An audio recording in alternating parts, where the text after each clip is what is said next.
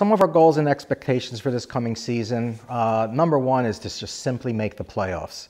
Uh, we've knocked on the door the last few years uh, due to circumstances beyond our control and a little bit of our own control. We didn't make the playoffs, but we would be very, very disappointed this year if we did not make the playoffs. We want to stay healthy on the field, maintain our GPA, and represent Franklin and Marshall with class as we always do.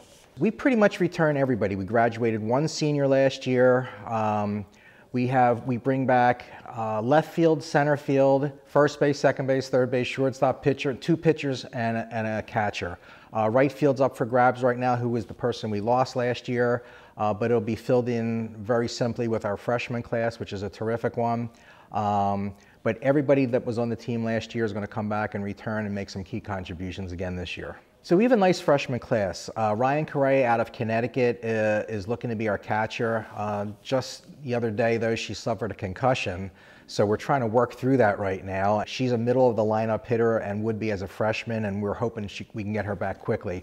But we're lucky because we return a first team all conference catcher who we're moving to third base anyway, just for Ryan's sake this year. Um, so we, we can, we'll, we'll be okay at the catching position short term. Uh, we bring in somebody named Alexi Pikanich, who is a great third baseman out of North Jersey. Um, so she'll move into the third base slot that we thought we were going to move Erin Russell to. Um, so we're not going to lose anything there. And she's also going to be our first baseman when Katie Wenger has to pitch, and who pitches every other game. Uh, Lexi's also a power hitter, and she'll hit right in the middle of our lineup. She's coming off of like two ACL surgeries, so getting her back on the field is is uh, is a challenge for us right now. But we think she's ready to go.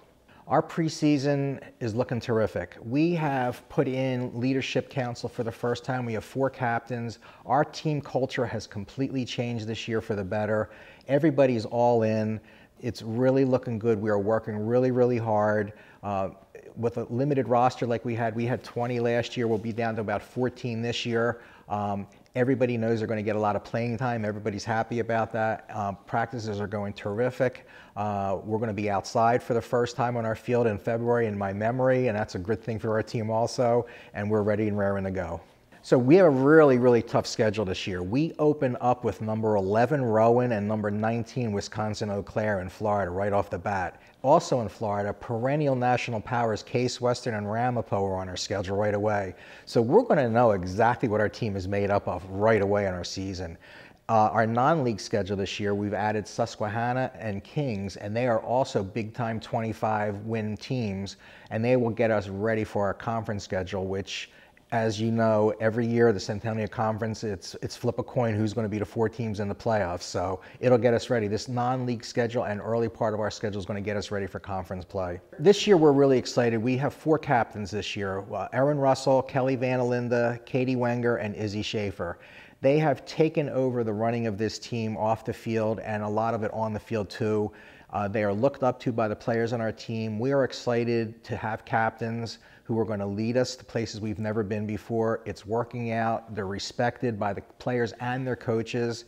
And I cannot wait to get this season started in a couple weeks.